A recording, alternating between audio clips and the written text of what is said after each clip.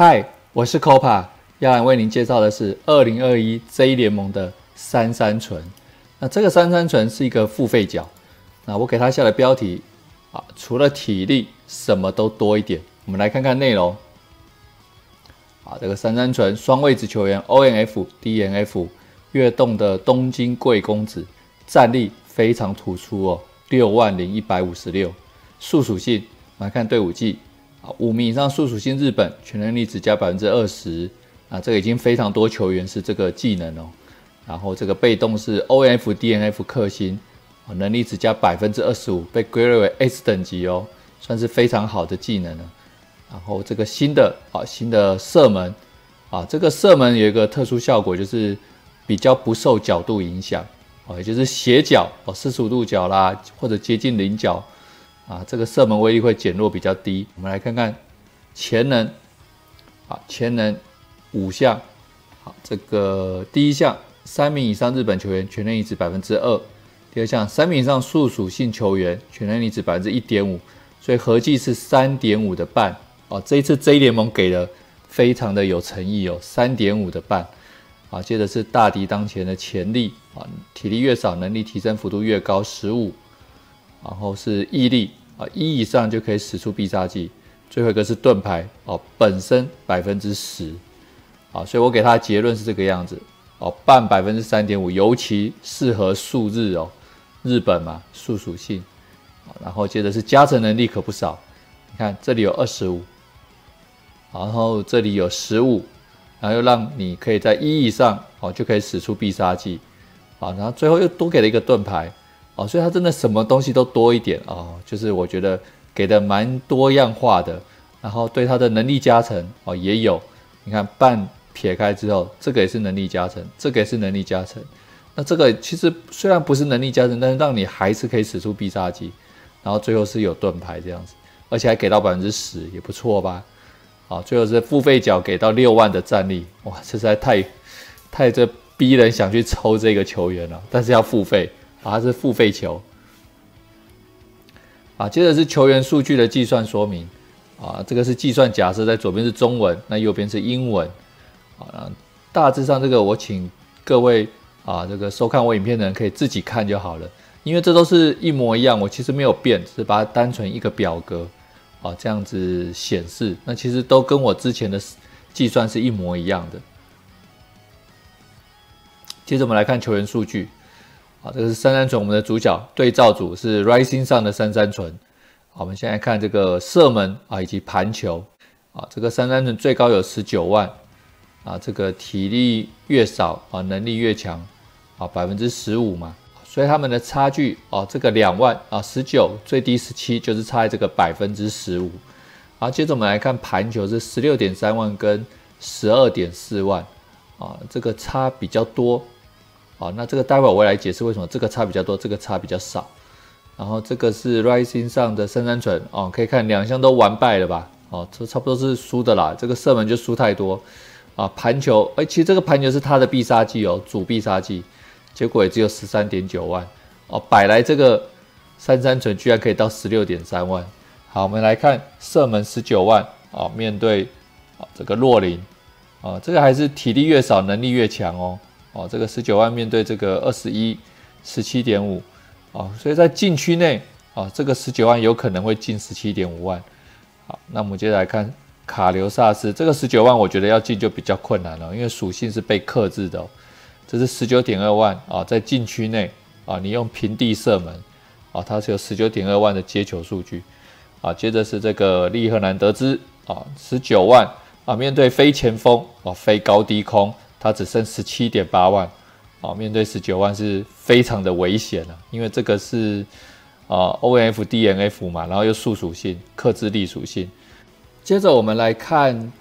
理查，啊，理查面对十九万的射门，啊，那理查的接球呢，在全力状态有十九点五万，啊，就是面对球团的三三存，啊，在非全力状态有十八点二万。啊，所以在全力状态其实十九点五万来接十九万，我觉得是可以的，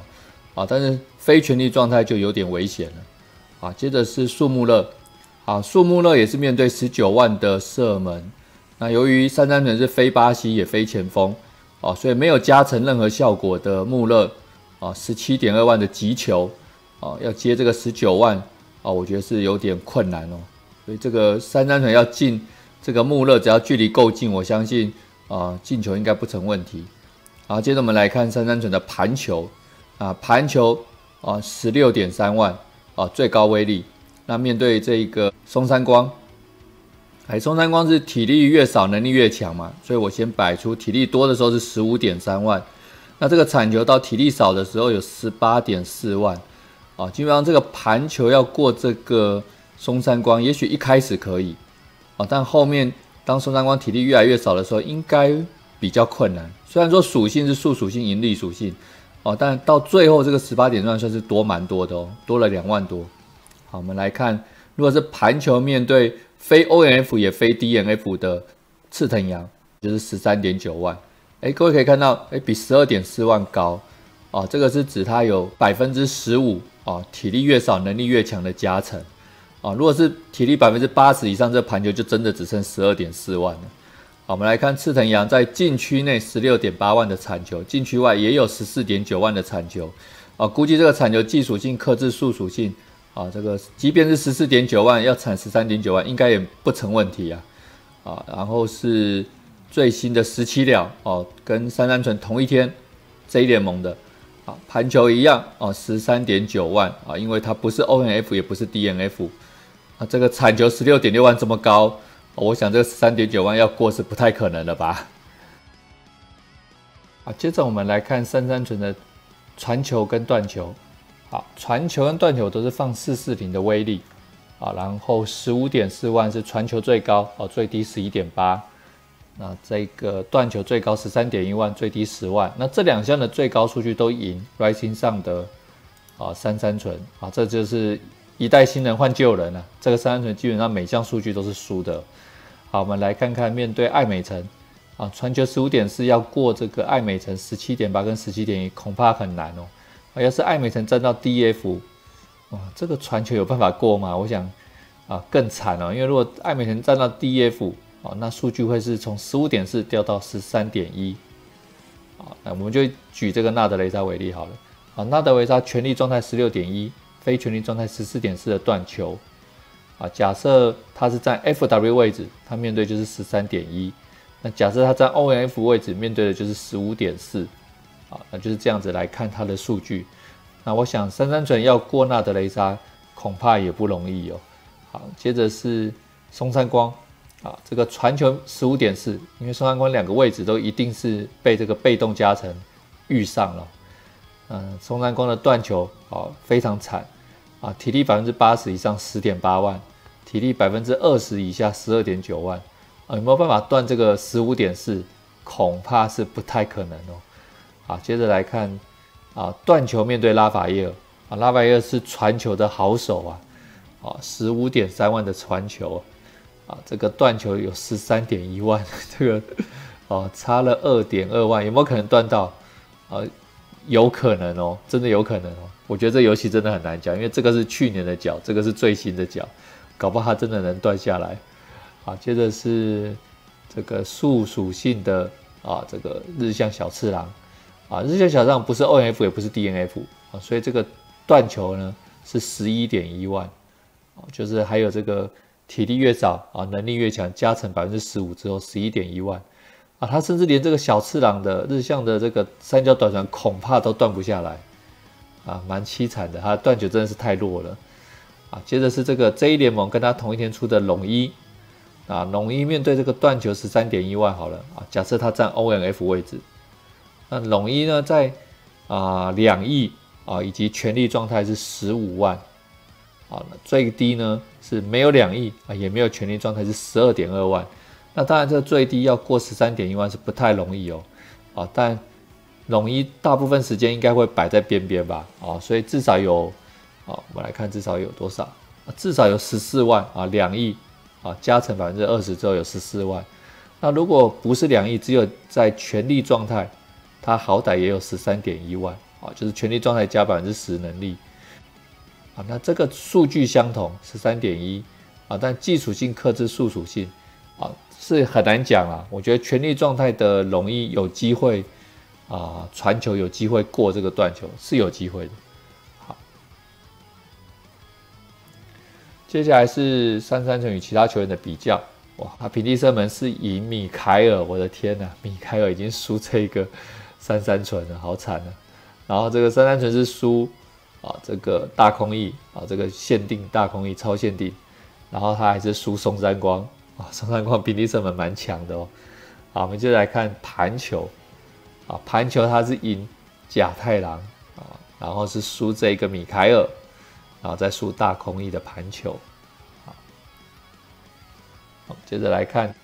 传球。啊，这个传球它是赢雷欧啊，赢拉法叶尔。啊，这十五点三万传球很强，但它还比十五点三高啊。啊，还是十五点四嘛，但是他还输这个付费角的法哥哦，哦，这两个付费角啊，这个实力在伯仲之间啊，但法哥还是略胜一筹啊。接下来看断球啊，断球三三。纯是赢啊，这个月中限定的波旁啊，赢月底限定的松山光啊，但输这个恩波利啊，这恩波利其实各项数据都蛮中上的啊，这个断球居然还在啊六万的三三纯以上啊，还是蛮令我意外的。好，最后是来讲一下这个三三纯哦啊，我觉得就一个付费角的来这个看哦，它是值得你付费去抽的啊。第一个，它战力六万。啊，第二个它半啊百分之三点五啊，那又是这个十阶保底嘛啊，其实就是保证抽得到